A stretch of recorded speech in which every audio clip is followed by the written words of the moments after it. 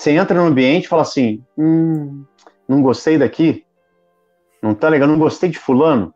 A pessoa não abriu a boca. Você só olhou para ela e falou: hum, não gostei dela. Já aconteceu isso? Isso é a sua intuição. Sentir, prestar atenção na sua intuição é algo fundamental para você ter resultados incríveis na sua vida e captar o que o universo está mandando para você o tempo todo.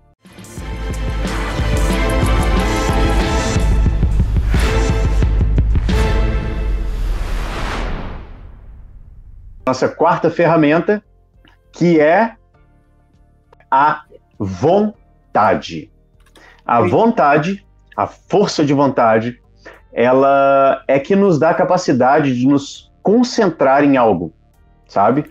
É, a maioria das pessoas, elas não conseguem realizar coisas na vida, nas, na vida delas porque elas não colocam, elas não têm força de vontade para fazer. Por quê? Elas estão trabalhando com uma coisa que elas não querem, comem coisas que elas não querem, fazem coisas que elas não querem, e aí a vida não anda. Por quê? Porque elas não usaram a razão lá em cima para raciocinar sobre o que elas queriam.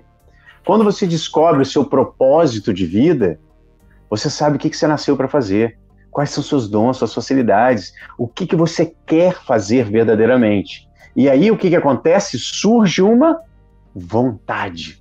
E essa vontade é que levou os grandes nomes do mundo aí de sucesso na vida a conseguir o que eles queriam.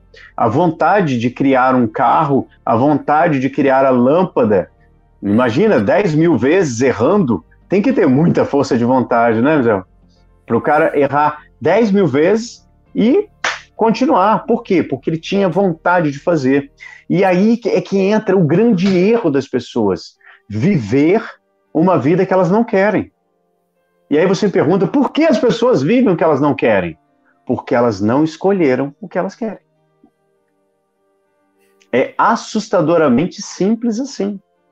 Você é o criador da tua vida. E sabe por que elas não escolhem? Porque elas se fazem de vítima e esperam que o mundo mande coisas para ela do nada, espera que os políticos resolvam os problemas dela, espera que a família ajude ela. É porque lá em casa ninguém me ajuda sabe? Fala aquilo com a maior dor e sente aquilo como se fosse pequeno. Você é um ser incrível. Imagem e semelhança do ser mais poderoso do mundo, que é Deus.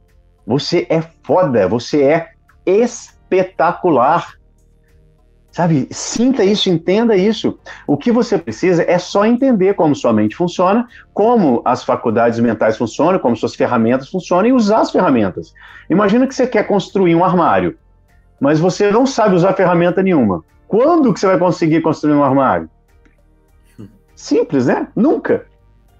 Vai ser um armário todo descompensado, né? Você tem que sentir isso todo dia, você tem que falar isso para você todo dia. Olha na, na sua cara no espelho todo dia e fala: Eu sou espetacular, eu posso, eu mereço, eu consigo, eu mereço, eu mereço o melhor que o mundo pode me oferecer. Só que eu crio as possibilidades para que isso venha para a minha vida. Por quê? Porque eu tenho a mente. É a mente que cria. A, a nossa vontade, ela nos dá a capacidade de manter o nosso sonho na nossa tela mental. Entende? Porque se você não tem vontade de fazer, o que, que acontece? Ah, ah, não sei se eu quero isso não, e aí já tem outra coisa. E o que, que acontece? Nós vivemos no mundo, gente, a gente só consegue prestar atenção em uma coisa de cada vez. O, o nosso corpo físico é limitado. Né? Não, não nós, o nosso corpo físico. Nós somos ilimitados e imortais, que é nosso ser, nosso eu superior, nosso espírito. Né? É energia, não morre, não acaba. As coisas, ele simplesmente existe, é eterno e sempre vai existir. Assim como Deus. Então, a nossa vontade é que faz com que aquilo permaneça na nossa mente, como é que a gente cria, colocando a imagem na nossa mente, dando foco para ela, e tudo que você dá foco dá força, e tudo que você dá força, toda energia emanada por um corpo volta para sua origem. A energia é cíclica no universo. Então, tudo que você emana para o universo, assim como você pensa no fundo do seu coração, você atrai aquilo que você está emanando. A energia do nosso coração é 5 mil vezes mais forte que a do cérebro. Ou seja, é uma energia magnética. É uma energia que, ó, puxa. Então, quando você sente no fundo do seu coração, Provérbios 23, 7, assim como você pensa, no fundo do seu coração, assim você é. E você não tem a vida que você quer, você tem a vida que você é. E você é assim como você pensa no fundo do seu coração, ou seja, os seus paradigmas.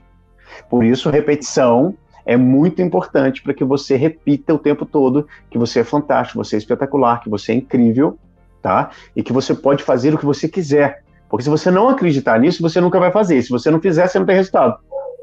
A nossa vontade, ela funciona como uma lupa. Imagina que você pega uma lupa, aquela de lupa de, que aumenta, né? E coloca no sol, né? O sol vindo, e aí você coloca a lupa em cima de um papel. O que, que a lupa faz? Ela amplifica a força daquilo. E a vontade é que amplifica a sua força de vontade, de fazer certas coisas. Você tem que querer realmente fazer as coisas. Por isso que as pessoas procrastinam elas não têm força de vontade suficiente. Entende? Quem procrastina aí? Coloca aí nos comentários. Quem é que eu... procrastina pra caramba? Tem e uma... lembra que, que eu falei sobre, sobre essas ferramentas. É como um músculo. Se você não trabalhar a força de vontade, você nunca vai ter vontade de nada. Você está sempre desanimado, etc. Um outro exemplo, Zé, é a musculação. É treinar, fazer exercício físico. É, gente, Verdade. ninguém nasce com vontade de fazer exercício físico. Você Verdade. começa a fazer, começa a liberar dopamina, ocitocina, hormônios que dão prazer, começa a curtir, você começa a ver resultado no teu corpo, e aí o que, que acontece? Surge vontade de fazer mais para ter aquele resultado. Se você usa sua mente para criar o que você deseja, ou seja, ter clareza, o que, que vai acontecer? Você vai ficar com vontade de ficar rico, você vai ficar com vontade de ficar saudável, você vai ficar com vontade e isso vai fortalecer e vai fazer com que você tenha foco. E foco é força. Distração destrói a sua vida. Vamos para quinta então? Para quinta Vamos. quinta ferramenta. A quinta ferramenta é uma coisa que as pessoas é, erroneamente chamam de sexto sentido. Né? Nós não temos seis sentidos, nós temos cinco sentidos. E ponto, acabou. É isso, cinco sentidos. É, a intuição. A intuição é uma ferramenta mental, é uma faculdade superior mental. Entende? Ela é uma ferramenta de criação. E a nossa intuição serve para a gente viver nesse mundo. Ela, ela, ela nos dá a capacidade consciente de captar as vibrações dos outros, das outras pessoas. Você pode perceber. Já aconteceu com vocês? Comentam aí, por favor. É, você entra no ambiente e fala assim: hum, não gostei daqui, não tá legal, não gostei de fulano. A pessoa não abriu a boca. Você só olhou para ela e falou: hum, não gostei dela. Já aconteceu isso? Isso é a sua intuição. Sentir, prestar atenção na sua intuição é, é algo fundamental para você ter resultados incríveis na sua vida e captar o que o universo está mandando para você o tempo todo. Né? Intuição é a maneira de Deus falar com você. Olha que bonita essa frase, né? A intuição é a maneira de Deus falar com você, do seu eu superior falar com você, da, do universo falar com você, de você entender as sincronicidades, perceber. É a intuição. Você está intuído de, de algo que está vindo que é invisível. Então você, por exemplo, tá para fazer um projeto e de repente você tem a intuição de não fazer aquilo aquele dia ou não fazer daquela forma ou não fazer com tal pessoa.